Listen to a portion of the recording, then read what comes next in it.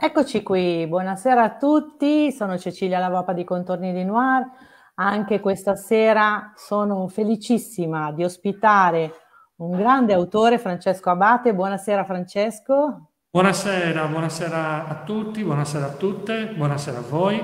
Come mi si sente? Benissimo, benissimo. Eh. Vuoi dirci dove sei? Sì, mi trovo al eh, Museo e Archivio Archeologico di Sydney Infatti alle mie spalle eh, vedete anche una vetrina con eh, alcuni reperti della civiltà fenicia che fanno capolino nel complotto dei calafati. Mica a caso siamo qua, ecco. E infatti mi fa molto piacere che con noi ci sia anche Linda Chester. Ciao Linda, buonasera. Buonasera a tutti. Ecco, tu hai detto appunto il complotto dei calafati ed ecco qui che facciamo vedere questa bellissima copertina di Einaudi libro appena uscito che è il seguito di quest'altro libro, vediamo se riesco in contemporanea. Sei eh, Hai visto? dei delitti della Salina, questa sera parliamo appunto del complotto dei Calafati e di questo personaggio, Clara Simon, che tu, Simon giusto? Che tu hai, che tu hai creato e Prima di dirci qualcosa ovviamente della trama, in contemporanea vorrei sapere se è nato prima il personaggio, l'epoca o la storia gialla. Eh, bella, bella, questa è una domanda un po' da carogna, eh? Iniziamo bene. no, sì. Perché non ci ho mai riflettuto, in realtà probabilmente le cose sono andate di pari passo. Eh, di sicuro forse in un parto gemellare eh, di un secondo l'ha anticipata lei, Clara Simone. Clara Simone. E a seguire l'epoca, perché in realtà noi siamo eh, nel 1905, io pensavo di far eh, iniziare le avventure di Clara Simone nel 1889 e soltanto dopo una lunga chiacchierata con la mia editor Rosella Postorino, con Francesco Colombo e Paolo Repetti, eh, ci rendemmo conto che, che, era decisamente meglio spostarla, seppur di poco, ma spostarla, eh, perché l'intenzione era quella proprio di raccontare l'inizio di un secolo. E allora se questa era la mia intenzione, dissero gli editor, beh allora iniziamo col secolo iniziato, non, non, agli albori o alla fine del, del secolo precedente. Quindi Clara c'era già, eh, l'avrei voluta datare, datare, dieci anni prima, ma poi invece in piena Belle Époque abbiamo oh, fissato eh, la maggiore età, perché Clara nel 1905 ha 21 anni, tra l'altro da poco era il suo compleanno perché è nata il 13 maggio 1900, no, 1800 e quel che è, eh, e quindi eccola qua, è arrivata a lei.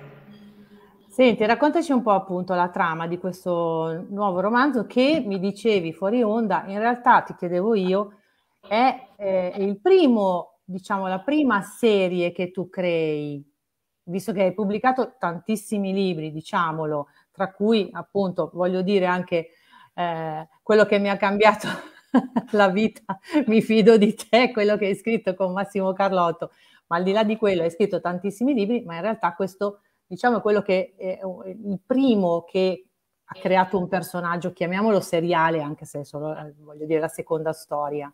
Certo, io credo che mi fido di te, credo che abbia cambiato fondamentalmente il rapporto con il tuo verduraio e col tuo macellaio, ma a parte ciò dicevi bene, nel senso che io un personaggio che non può essere proprio definito seriale che è Rodolfo Saporito. Rodolfo Saporito è un giornalista come Clara Simone, solo che è un giornalista di questo secolo. È stato protagonista di due libri e poi appunto in Mi fido di te e in Chiedo scusa compare a un ruolo comunque non, da, non, è, non, è, un comprimario, però è una comparsa importante. Devo dirti che eh, diversi lettori, quelli che si erano affezionati a quel personaggio, mi dissero, eh, avendo completamente abbandonato quel personaggio, perché non lo fai tornare? Perché non lo fai tornare? Però in realtà, guarda, io non avevo una storia per lui, avevo la storia per, per Clara Simone, perché volevo raccontare la storia di una giornalista pioniera all'inizio del Novecento. Ma nonostante ciò, eh, siccome sono un po' fetente, eh, ho infilato un Rodolfo Saporito, che è il Watson di. Clara Simone, un tenente, prima puntata nei delitti della Salina dei Carabinieri, seconda puntata, complotto dei Calafati, invece un capitano. E allora i lettori hanno chiesto, ma questo Rodolfo Saporito è, parente, è parente del Rodolfo Saporito moderno? E ho detto, certo, è il, tri, è il, tri, è il eh, bisnonno trisnonno, adesso perdonate non ho tutta la linea, è il bisnonno, è il bisnonno.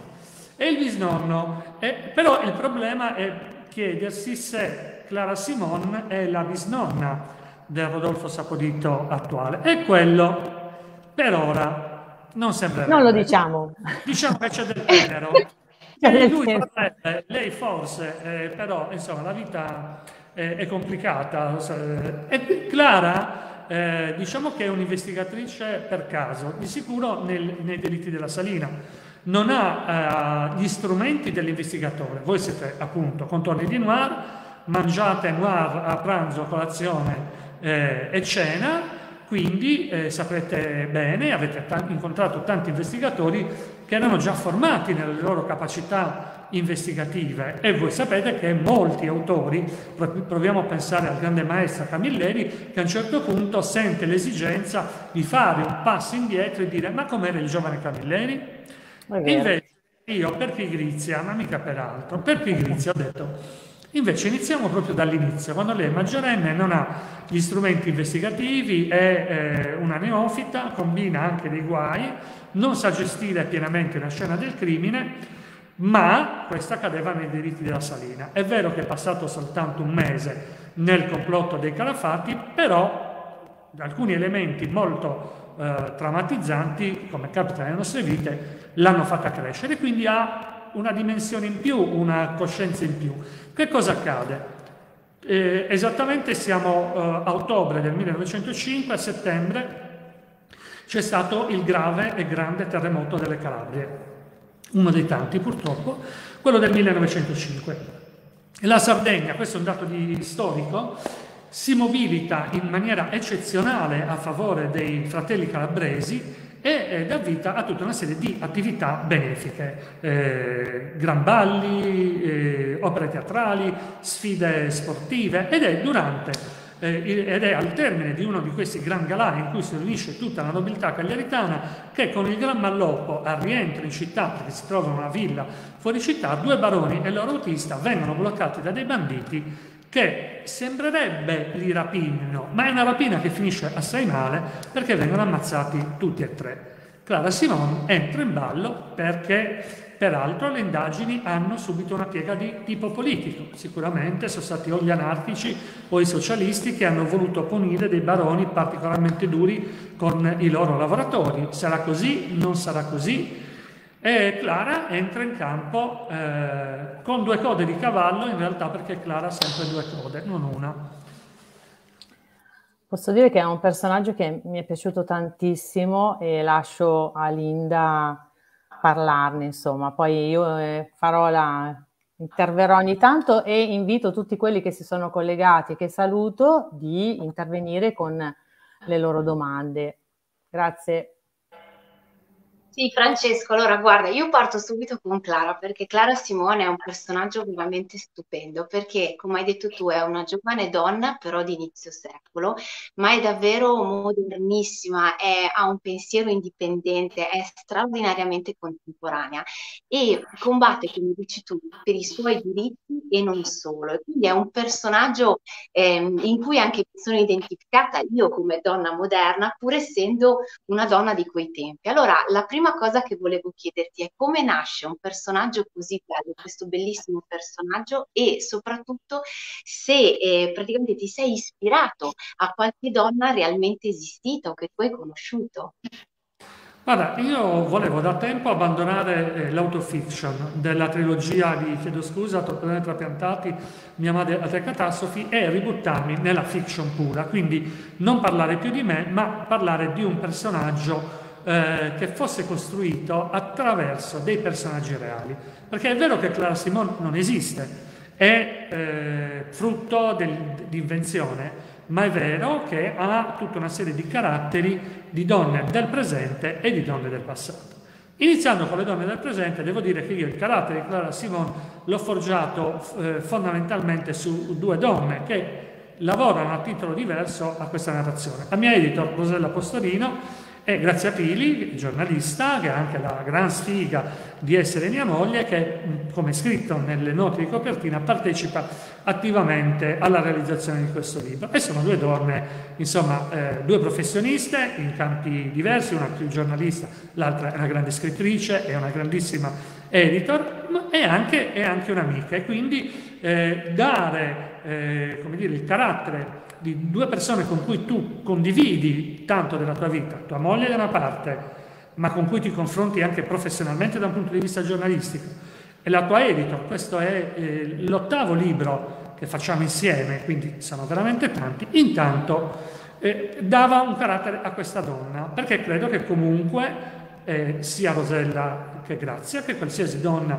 che si, eh, eh, che si affaccia nel mondo del lavoro e delle professioni, ancora oggi una serie di difficoltà se le deve affrontare, deve avere sempre quella, quella marcia in più.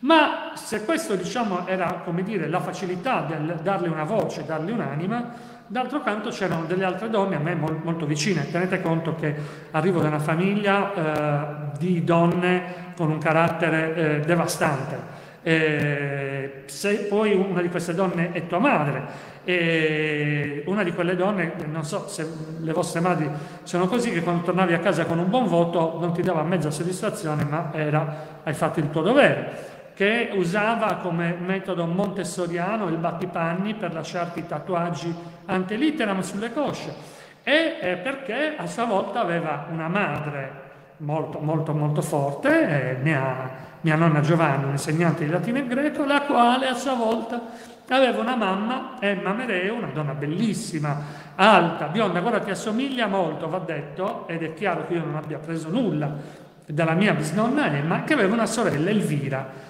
Guardate, erano donne come Clara Simone, borghesi, altolocate, colte, ma ehm, sensibili a quelli che erano eh, le istanze e i problemi dei lavoratori. Nello specifico zia Elvira Mereu, che io non ho conosciuto, come non ho conosciuto nonna Emma, a differenza invece di suo marito, nonno Rosolino che mi ha tenuto in braccio, ha fatto tanti regali e ha raccontato tante storie, fra cui la storia di Elvira, seppure ero piccolino, che viene tramandata in famiglia perché decide di aderire a Cagliari all'inizio del secolo al movimento anarchico. E la paga, la paga amaramente perché voi pensate che ogni santa volta che in Sardegna arrivava un reale eh, o un altro funzionario del regno, i carabinieri si presentavano a casa di Elvira, bussavano alla sua porta, le pregavano di prendere cappellino, l'ombrellino, una borsa e la carceravano preventivamente. Ma questa storia, sapete, in famiglia mi ha sempre molto colpito di questa donna che è morta anarchica. Eh, ha sposato un anarchico, una donna che non ha mai fatto del male a nessuno, ma che per eh, coerenza con i propri ideali finiva in galera e finiva in una galera che all'inizio del Novecento eh, non era certo un, una buona galera, non lo è mai stato in realtà il carcere di Buoncamino. L'altra donna che devo dire però è andata di, di pari passo con la realizzazione del, del libro, quindi non, non, le ha dato i fondamenti ma ha iniziato a darle eh, altri caratteri, è una donna che visse a Cagliari tra il 1889 e il 1903, giornalista, socialista, arrivò a Cagliari al seguito del marito Francesco Carrara, che era il miglior allievo eh, del padre. Francesco Carrara arriva a Cagliari perché gli viene data la cattedra di medicina legale. Il eh, suo maestro è il padre della moglie. Il maestro si chiama Cesare Lombroso, la moglie si chiama Paola Lombroso, grandissima giornalista, donna a cui dobbiamo eh, la creazione, l'ideazione del Corriere dei Piccoli, ma a me piace anche ricordare del grande progetto delle bibliotechine rurali. Tutto questo per dirti che a volte qualcuno dice eh, però una ragazza del Novecento così emancipata, così combattiva, in realtà è sorella di tante altre donne. Io ne voglio citare, posso citare Matilde Serao, che nel 1905 viene defenestrata da uno dei giornali che ha fondato, il Martino di Napoli, ma voglio citare un premio Nobel per la letteratura, grazie a Beredda, che nel 1905 aveva scritto già diversi suoi titoli caposaldo della sua letteratura e che non ha mai avuto vita facile, nonostante fosse scrittrice, uno dice vabbè ma scrittrice avrà avuto, no, non l'ha avuta assolutamente. Quindi In realtà Clara Simone è, è sorella delle donne che vi ho citato, ma si inserisce in un contesto in cui non erano poche queste donne. Io non voglio andare a uh, scomodare Nelly Bly. Abbiamo anche i nostri esempi regionali e, na- e nazionali molto importanti. In più, Clara Simone è anche per metà cinese, perché c'è anche questo elemento molto particolare di lei, subito colpisce, che ci collega poi a una Cagliari veramente insolita, che è l'altra grande protagonista dei tuoi romanzi, perché tu ci porti proprio in una Cagliari ehm, diversa, vivace, questa di inizio secolo, ma anche multiculturale. Allora, questo è un aspetto che mi ha interessato tantissimo fin da subito e ho visto, leggendo eh, nei ringraziamenti, che per costruire romanzi sei aiutato, eh, hai studiato anche le letture, proprio hai letto le cronache dell'Unione Sarda di quei tempi. Questo è un lavoro affascinantissimo. Io volevo proprio chiederti, da cagliaritano, ma anche da giornalista, com'è stato immergerti in queste pagine dei tempi e quali elementi insomma hai trovato che hai trovato affascinanti, interessanti e quali e hai trovato degli elementi che si collegano poi alla Cagliari di oggi, che hai rivisto proprio Cagliari che tu hai vissuto personalmente. Guarda, intanto mh, devo dirti che più che un lavoro è un divertimento, perché eh, è vero, io sono un giornalista, sono un giornalista dell'Unione Sarda, per anni, sino a che avevo 40 anni, ho fatto il DJ, per cui nell'immaginario pubblico uno che fa il DJ uno che non, non, magari non si interessa di storie, poi soprattutto si fa lo scrittore, però racconta la contemporaneità e poi soprattutto il mondo notturno che gli affine. Però devo dirti che in pochi, anzi nessuno si aspettava che invece c'è in me una, un, un grande amore per la storia che fu determinato proprio dal fatto che quando tu nasci in una famiglia in cui ci sono tanti libri e mi folgorò il fatto che mio nonno mi regalò un debello gallico per versione ragazzi, quella per le, per le scuole medie, io da allora guarda, mi sono amo, amo profondamente la storia perché quello che mi affascina è la storia degli uomini, cioè gli uomini e le donne che hanno calcato eh, quel terreno che magari oggi percorriamo noi.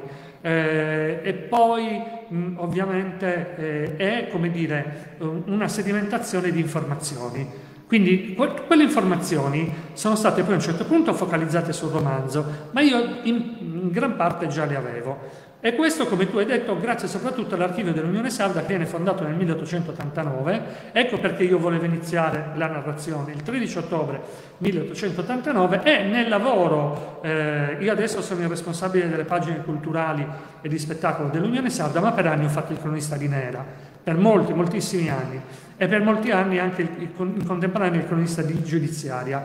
E ehm, ci sono molti momenti morti del, del nostro lavoro, L- ci sono anche adesso, ad esempio l'Eurovision. L'Eurovision per me è stato un momento che abbiamo chiuso l'ultima puntata all'una e un quarto di notte, che era, con tutto il rispetto, però un po' lontanuccio dai miei gusti musicali, mettiamola così. E quindi segui ma non segui, e io mi vado a leggere le copie dell'Unione Sarda di quegli anni e guardate, è un romanzo a puntate fantastico. A parte che eh, eh, l'Unione Sarda ospitava nel taglione basso i romanzi a puntate di grandi autori e negli anni e nei mesi in cui si svolge l'indagine del complotto dei Calafati, l'Unione pubblica un romanzo minore e inedito di Sir Arthur Conan Doyle. Quindi questa era l'Unione Sarda cioè un, un giornale che eh, faceva anche delle scelte eh, profonde, eh, importanti. E la società che ne emerge è una società affascinante perché l'immaginario eh, della Sardegna è un immaginario bellissimo fondato eh, su dei romanzi insuperabili che hanno raccontato la Sardegna ancestrale, la Sardegna arcaica, la Sardegna agropastorale, ma non quella delle città. Quindi la mia narrazione, che non vuole essere assolutamente alternativa o addirittura contraria, ma che completi quel tipo di narrazione, entra in città. E che città trovi? Trovi una città che in vitro, per chi ha letto il libro come voi lo sa perfettamente, è una città che vive la Belle Époque, una città europea, una capitale europea piccola, ma eh, tutta succo, in sardo si dice totusuccio, perché basti pensare che questa città che all'epoca aveva nel 1905 anno del complotto dei Calafati 52.000 abitanti, ma aveva quattro teatri, quattro caffè chantan, un cinema, le rotonde sul mare dove si ballava, l'anfiteatro romano dove si andava ad ascoltare la lirica, era ed è era la radice di una città che oggi è altamente, eh, è altamente godereccia, una città che ama profondamente le arti, il buon vivere e il, e il bel vivere, tant'è che siamo fra quelle città che ancora oggi hanno un eh, un'altissima qualità di vita. Ma se ce l'abbiamo è perché c'è una radice culturale in quegli anni. Quindi è, eh, c'è addirittura una cittadina della città metropolitana di Cagliari che viene chiamata la piccola Parigi, che è un po' un'esagerazione, però giusto per farvi capire, dai.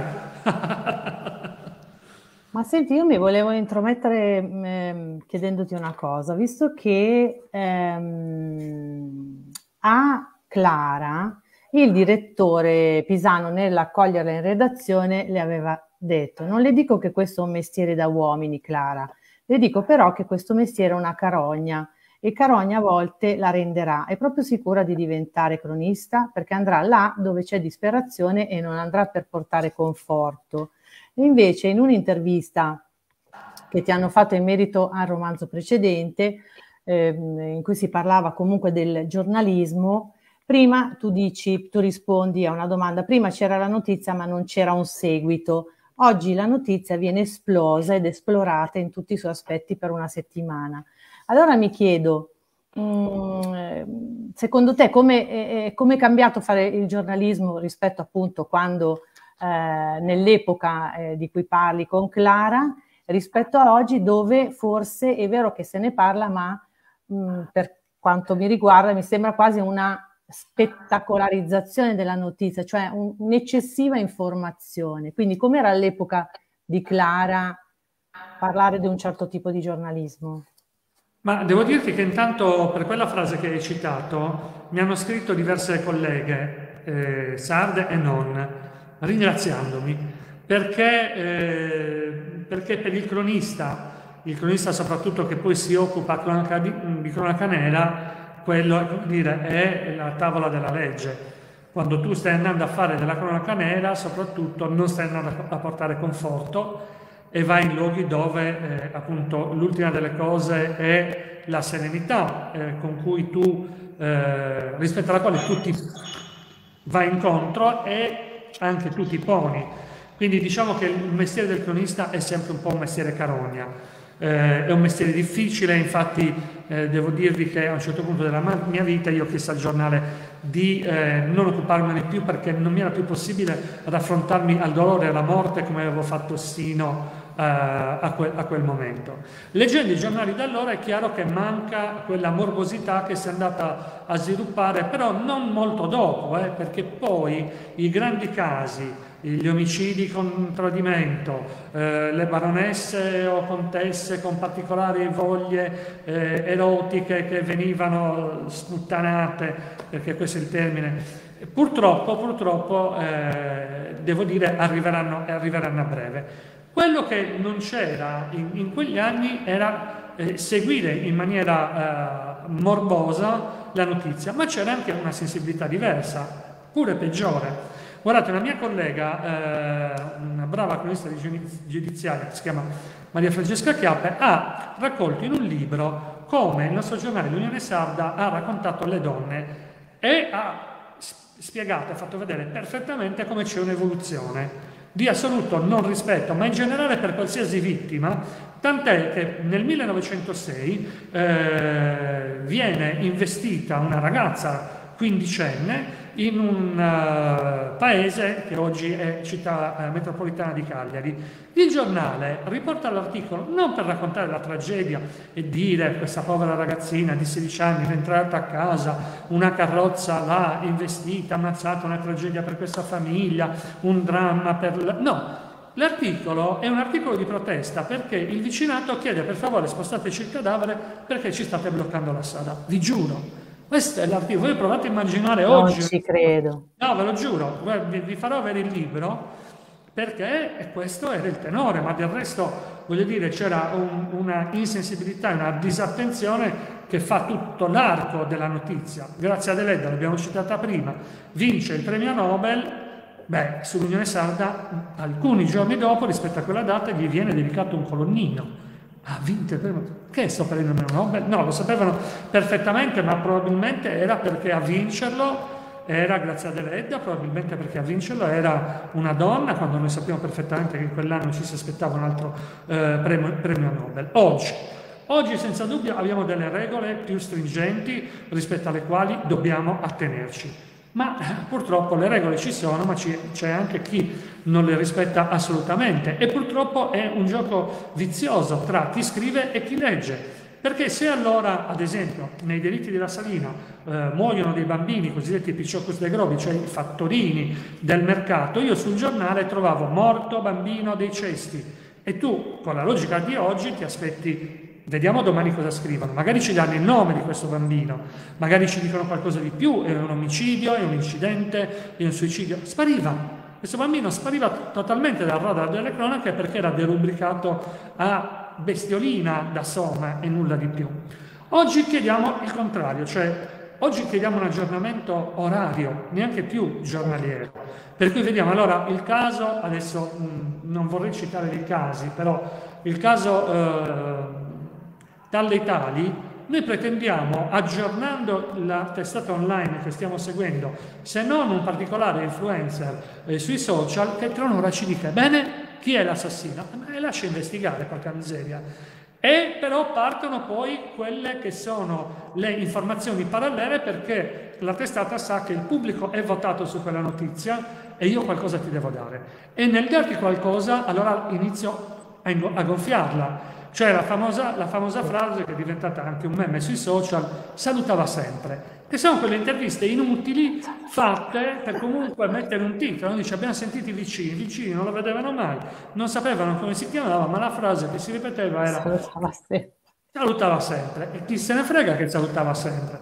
E eh, poi tutto questo fa sì che eh, si arrivi, diciamo, a quasi mh, mm, far diventare ciò che è cruda realtà fiction. Per cui tu perdi dal punto di vista che quella è una vittima, che c'è una tragedia in corso in una famiglia, la decontestualizzi e tu sei in piena fiction. Per cui il caso Denis Pipitone, ecco diciamone uno famoso, quasi perde la sua connotazione di cronaca e assume quella romanzesca. E non so quanto questo possa far bene al giornalismo.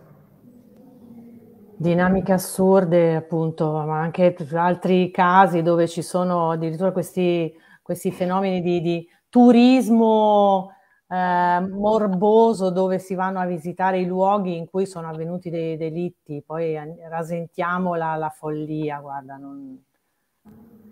torniamo, torniamo al romanzo, dai. Sì, no, ci sono, ci sono delle pagine mh, dove tu racconti proprio un giornalismo bellissimo in questo libro. Mi viene in mente, ad esempio, la pagina dedicata allo stampatore.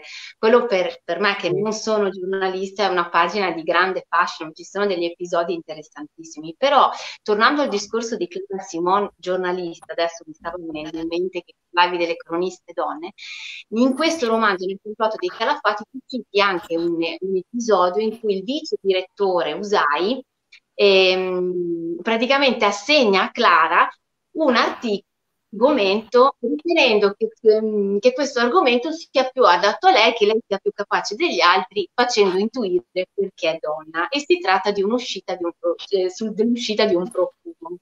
Ecco, in questo senso volevo, mi è piaciuto moltissimo, non solo, adesso non svelo cosa succede, ma non solo eh, la citazione di questo, di questo episodio, ma anche come hai fatto reagire Clara, che quello è stato bellissimo. E però volevo chiederti a questo proposito, cioè quanto questi stereotipi di questi argomenti al femminile, te lo chiedo proprio da giornalista e da scrittore, ci sono ancora? Tu che sei un uomo, un autore, che si mette dalla parte delle donne, quanto è ancora importante parlarne? Guarda, io uh, sono zio di, di giovani professioniste e, e anche medici, e in particolar modo di, un, di una giovane medico, tra un po' saranno due, le mie nipoti medico, però uh, Claudia, Claudia Piu, che è, è, una che si è laureata a 23 anni, eh, si è specializzata, cioè un genio della, della medicina, e ovviamente essendo gio molto giovane d'età e anche non particolarmente alta di statura, però quando fa le guardie mediche oppure in reparto, eh, mentre tutti sono dottori, lei è signorina. Oppure, mentre tutti sono dottori, è sì, ma il dottore quando arriva? No, ma il dottore sono io. No, il dottore uomo, quando arriva? Siamo nel 2022 e vedo eh, in lei, siccome è come Clara, è una ragazza molto eh, piena di spirito. Clara Simone in questo libro peraltro fa anche un cambio. Eh, molti lettori hanno notato che lei eh, nel primo romanzo è una ragazza molto dura, ma quella è una delle reazioni che bisogna avere a volte per farsi rispettare, bisogna mettersi una corazza, però Rodolfo Saponito le dice, guarda Clara, che secondo me però un'ottima arma che tu puoi utilizzare è quella che spiazza tutti, è quella dell'ironia. E lei gli chiede, ma perché tu la utilizzi? No, io sono carabiniere. Si mette a ridere. L'ho segnata. E, e Clara inizia a capire che eh, deve agire di, di, ironia e quindi quando la colpiscono deve colpire con, con qualcosa che spiazzi l'avversario.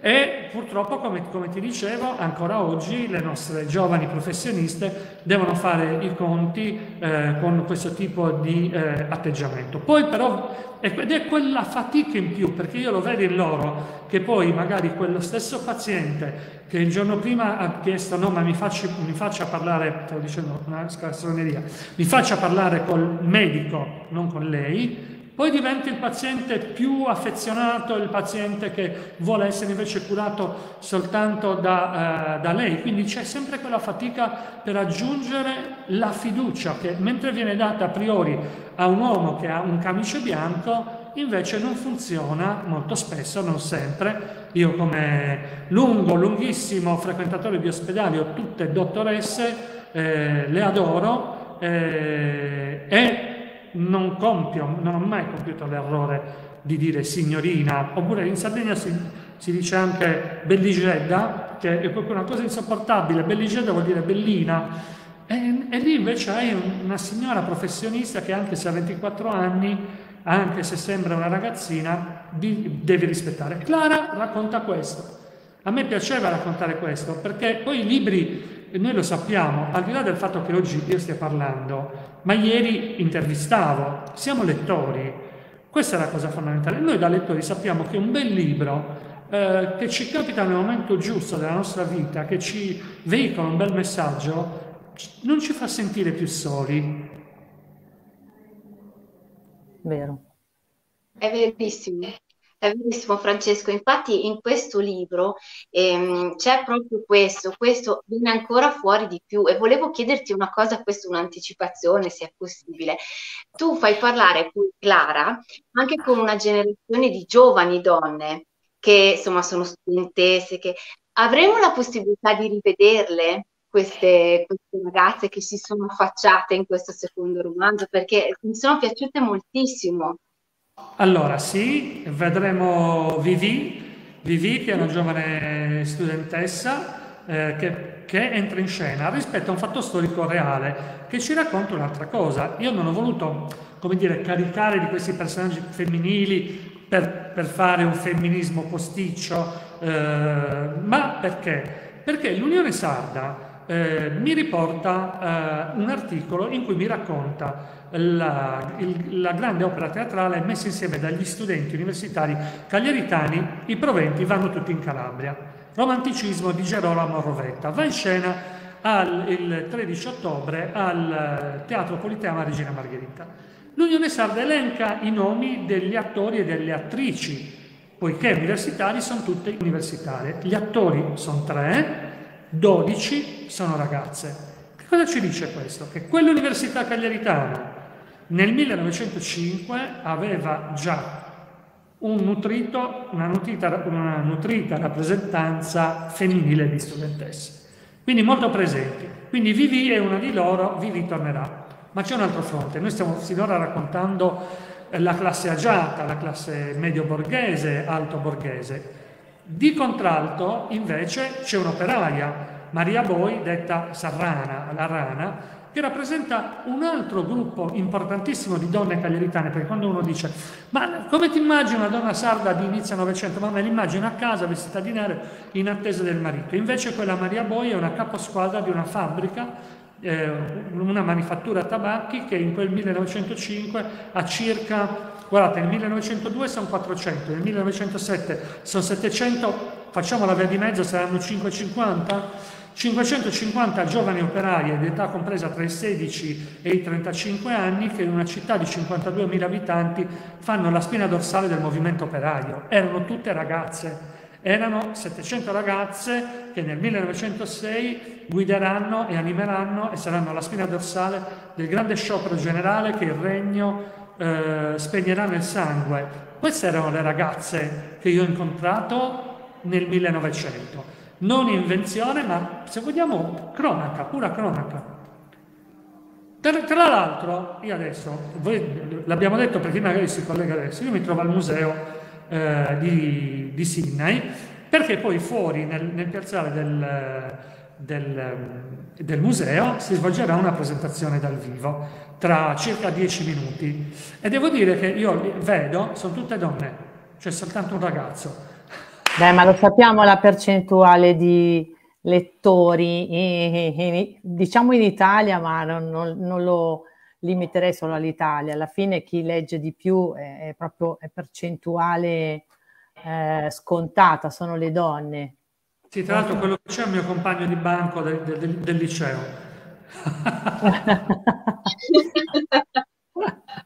Ma senti una curiosità, eh, visto che tu parlavi appunto di, di, di tua madre, insomma hai scritto anche questo libro su tua madre, diciamo su tutte le donne presenti nella tua vita che sono state tante. Una cosa che mi ha stupito è il fatto, e non facciamo nessuno spoiler, sono le origini di, di Clara, nel senso che lei, eh, sua madre è morta dandola praticamente alla luce. Quindi ti chiedo, intanto sarà funzionale alla storia questo di non, di non parlare di una figura che probabilmente sarebbe stata importante nella, nella sua vita, diciamo, di, eh, chiamiamola mezzo sangue in quel periodo e che quindi avrebbe avuto in qualche modo un supporto, non, cioè non si sarebbe sentita così sola. Seconda cosa, un padre che in realtà non c'è, neanche lui, no. per motivi diversi, se ce lo vuoi spiegare.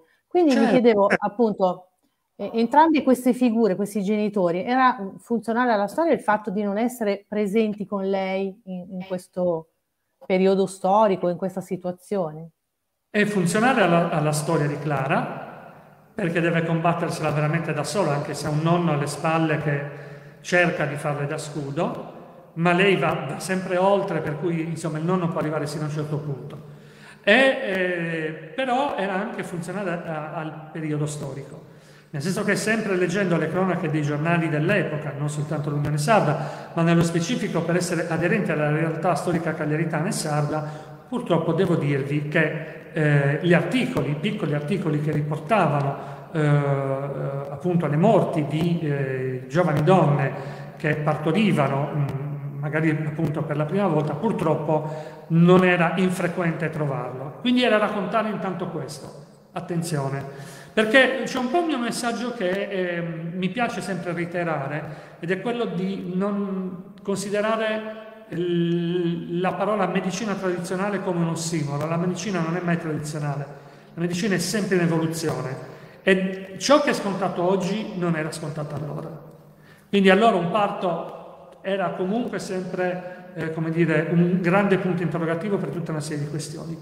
Questo per quanto riguarda la mamma. Per quanto riguarda il padre era non dimenticare italiani brava gente, cioè noi siamo sempre stati italiani brava gente, ma abbiamo un passato coloniale importante e abbiamo un passato coloniale in eh, combutta eh, con altre eh, potenze eh, occidentali decisamente molto più potenti di noi, però partecipiamo Partecipiamo alla uh, spedizione per la difesa delle legazioni nel 1900 in Cina, cioè per difendere gli interessi occidentali in Cina e domare la rivolta dei boxer. Eh, dal nostro punto di vista era una, domare una rivolta, dal loro punto di vista era riappropriarsi di un qualcosa e quello che non si ricorda è che un nutrito contingente italiano e quindi anche di sardi partì per la Cina, nello specifico a Tianjin, il, la città che viene considerata il porto eh, di Pechino, che resterà protettorato italiano sino alla fine della seconda guerra mondiale.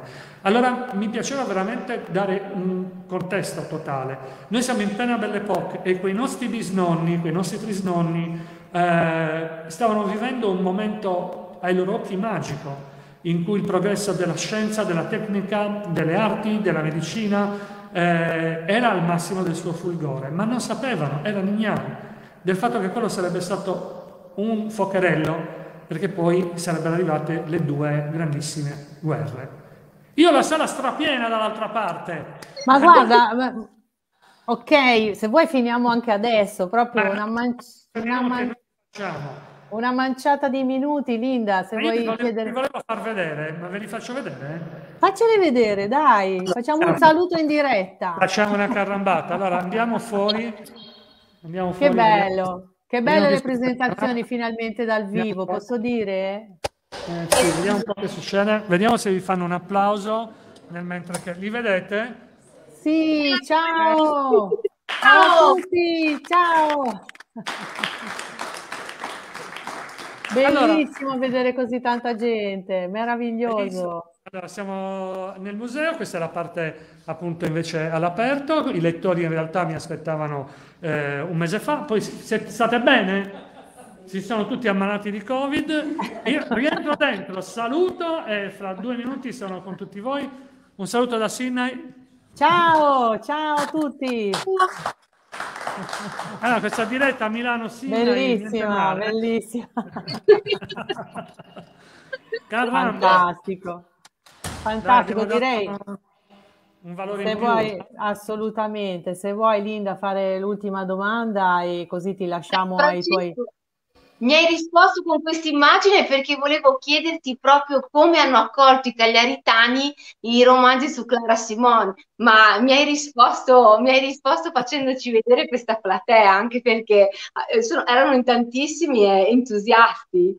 Sì, devo dirti che sono un profeta in patria e sono molto amato nella mia terra, molto, molto, molto della, ma ovunque, ma perché mh, è un rapporto reciproco di grande amore e io spero anche di riservare anche grande rispetto. E adesso però dobbiamo conquistare il mondo, perché Clara non può restare. Quindi assolutamente, assolutamente. Noi intanto aspettiamo, visto che ci hai dato qualche anticipazione, quindi aspettiamo il prossimo romanzo su Clara Simone che guarda, ci sono piaciuti entrambi tantissimo, li facciamo anche rivedere, viste anche le splendide copertine che Einaudi ha realizzato. Quindi... Sono di che tengo a ringraziare ogni volta perché sono, le ha disegnate e sono magnifiche. Sono da... bellissime. Sì. Quindi, allora, a, grazie a, a, tutti quelli che ci hanno seguito. Eh, grazie Francesco davvero della tua disponibilità. Grazie a voi. Grazie, Grazie, di avermi permesso anche questo momento doppio. Ecco. Ma scherzi, ma ci fa solo piacere e grazie Linda eh, per essere intervenuta, quindi ti lasciamo alla tua presentazione, viva le presentazioni dal vivo, anche se, ribadisco, per noi è sempre l'occasione di eh, fare, avere questi ponti da, da Milano, Bologna e, e Cagliari e riuscire comunque a incontrarci anche così e parlare sempre di libri che è la nostra passione. Quindi, grazie. grazie Francesco. Allora buona serata e buona presentazione. Grazie a voi, buona serata a tutti e a tutte. Buona grazie. serata, grazie buona mille. serata a tutti. Grazie, ciao.